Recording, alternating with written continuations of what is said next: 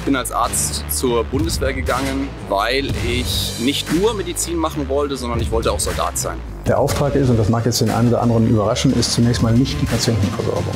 Der Sanitätsdienst stellt die medizinische Versorgung der Bundeswehr sicher.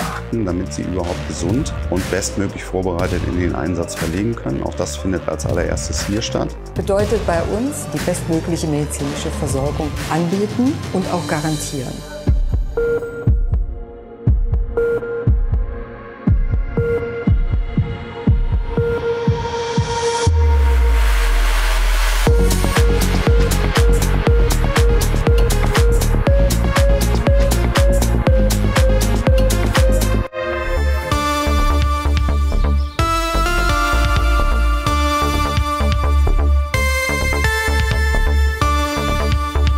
Mein Name ist Dr. Ralf Hoffmann. Ich bin Generalstabsarzt in der Bundeswehr, bin hier eingesetzt als sogenannter Chef des Stabes im Kommando Sanitätsdienst und insgesamt über etwa 800 Mitarbeiter verfügt. Wir sind quasi das Dach über allen Anteilen des Sanitätsdienstes von der Krankenhausbehandlung, der ambulanten Behandlung, der Ausbildung in der Sanitätsakademie und in den Sanitätsregimentern und der Sanitätstruppe also der Sanitätsdienst insgesamt stellt im Prinzip die medizinische Versorgung der Bundeswehr sicher. Wir kümmern uns um Soldatinnen und Soldaten in allen Bereichen, die die medizinische Versorgung betreffen, angefangen von der Prävention über die Behandlung von akuten Erkrankungen bis hin zur Wiederherstellung um sicherzustellen, dass unsere Soldatinnen und Soldaten so gesund wie möglich und so einsatzfähig wie möglich sind. Dazu gehört auch, dass wir die einzelnen Approbationen im Gesundheitswesen abdecken, also die Humanmedizin auf der anderen Seite, dann aber auch die Pharmazie, die Veterinärmedizin und die Zahnmedizin hier fachlich im Kommando abgebildet haben, um das sicherzustellen. Selbstverständlich arbeiten hier nicht nur Ärzte und medizinisches Fachpersonal, sondern medizinischem Personal einerseits und Personal, das den Einsatz des medizinischen Personals erst möglich macht, ist eine Grundvoraussetzung dafür, dass das Ganze dann im Einsatz funktioniert.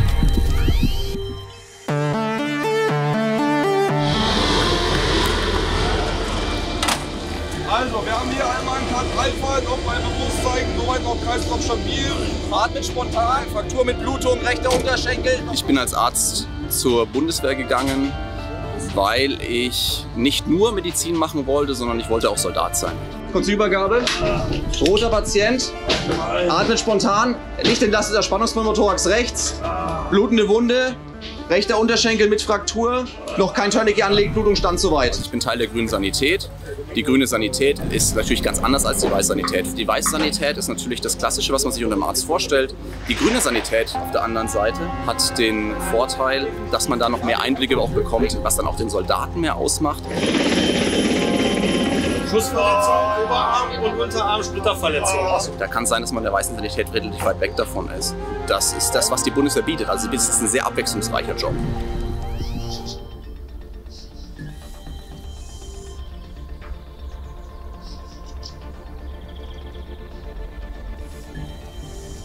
Bin hier in Hamburg der ärztliche Direktor und Kommandeur unseres Bundeswehrkrankenhauses. Ich habe damals schon gedacht, dass die Möglichkeiten bei der Bundeswehr, die Vielfältigkeit des Berufs, die Möglichkeiten, sich auch in der Medizin in ganz verschiedene Zweige weiterzuentwickeln, dass die einfach wirklich sehr gut sind. Und das hat sich bewahrheitet. Der Auftrag ist, und das mag jetzt den einen oder anderen überraschen, ist zunächst mal nicht die Patientenversorgung sondern der Auftrag ist, die Mitglieder des Teams hier, egal wo, Gesundheitsfachberufe, Ärztinnen, Ärzte so auszubilden, dass sie hochwertig, qualifiziert, dass sie selbstsicher und selbstbewusst wirklich die Aufgaben, die sie haben, in unseren Einsätzen wahrnehmen können. Das heißt, sie müssen militärisch fit sein und sie müssen fachlich wirklich auf höchster Ebene mitschwimmen können, um selbstständig die Aufgaben dort zu machen. Dafür und nur dafür sind unsere Bundeswehrkrankenhäuser da. Ausbildung, Abstellung für den Einsatz. Und von dem Hintergrund behandeln wir die Patienten, Soldatenpatienten und natürlich auch zivile Patienten.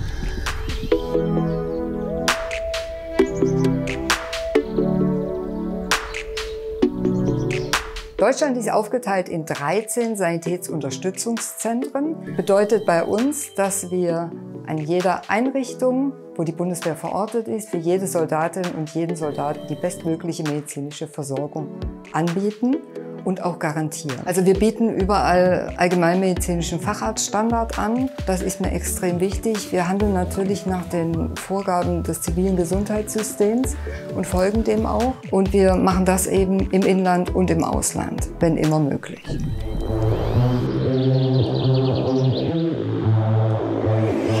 Sanitätsversorgungszentren sind Teil der regionalen Sanitätsversorgung für die Bundeswehr. Davon gibt es mehr als 130 Stück innerhalb der Bundeswehr, die sich auf die gesamte Fläche verteilen. Vergleichbar sind die Sanitätsversorgungszentren mit einer Hausarztpraxis und äh, wir sind dafür da, um die Soldaten in der Basisversorgung sowohl truppenärztlich wie auch truppenzahnärztlich zu versorgen. Also er kriegt quasi on top zu seinem Gehalt noch äh, die medizinische Versorgung in allen ihren Facetten.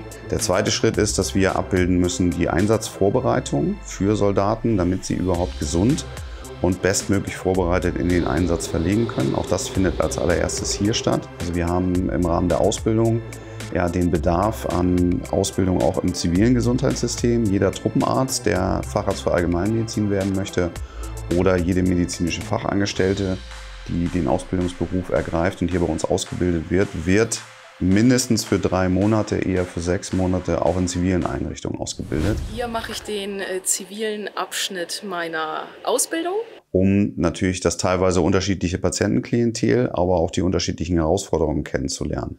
Gerade für Fachärzte für Allgemeinmedizin ist es wichtig, auch mal das Spektrum Kinder oder eben ähm, ältere Patienten, die weit jenseits des Pensionsalters liegen, kennenzulernen mit ihren Gegebenheiten, um auch diese Möglichkeit im Einsatz mit abdecken zu können. Also Sanitätsdienst als Truppenarzt wird fast schon als selbstverständlich vorausgesetzt, weil ich, egal unter welcher Flagge ich gerade im Einsatzgebiet meinen Dienst verrichte, irgendwo immer eine rote Kreuzflagge finde, wo ein Truppenarzt eigentlich als Ansprechpartner vor Ort ist und für meine eigenen Wehwehchen oder Sorgen dann unterstützend zur Seite steht. Ich für mich kann für mich selber nur zu dem jetzigen Zeitpunkt bilanzieren, dass ich es zu keinem Zeitpunkt bereut habe, Angehörige des Sanitätsdienstes zu sein, dass wir hier ein, ein, ein Umfeld haben, ein berufliches Umfeld, was uns komplette Entwicklungsmöglichkeiten darbietet. In Uniform und im militärischen Bereich bieten wir alle medizinischen Ausbildungen, die es im Endeffekt auch im Zivilen gibt und habe die, diese Laufbahn damals gewählt, weil mich gereizt hat, die Verbindung zwischen der Ausbildung als Arzt auf der einen Seite und dem militärischen Anteil auf der anderen Seite. Und Bundeswehr ist nach wie vor Kameradschaft, Teamarbeit. Das erfährt man gerade in den Auslandseinsätzen oder wenn man auf Übungen zusammenkommt, aber auch im Grundbetrieb, dass hier nichts alleine geht. Wer das mag, und das in Kombination vor allen Dingen gerne machen möchte, der ist, glaube ich, bei uns gut aufgehoben. Und das ist tatsächlich das, was, was ich sehr schön finde an der Bundeswehr, diese Abwechslung. Also einmal das Arzt zu sein und auf der anderen Seite aber auch Soldat zu sein. Ich würde mir wünschen, dass mehr junge Leute einfach mal den Weg in die Bundeswehr suchen. Wir haben ja die Möglichkeiten, dass sie es auch über kürzere Abschnitte bei uns einfach mal probieren können und dass wir dadurch einfach mehr zeigen können, was sind wir, was können wir, was tun wir, damit die jungen Leute einfach mal das echte Bundeswehrleben erleben können.